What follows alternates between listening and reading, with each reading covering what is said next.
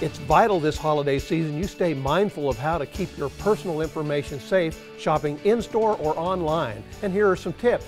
Use credit over debit. Shop at secure websites with URLs beginning with HTTPS. While shopping in store, keep an eye out for people fidgeting with their camera phones. They could be trying to snap a picture of your card. Keep an eye on where your cards go and for how long.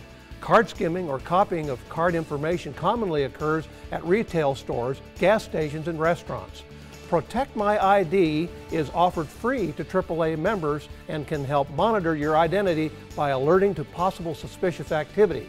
Visit AAA.com slash ID theft or call 877-440-6943 to enroll.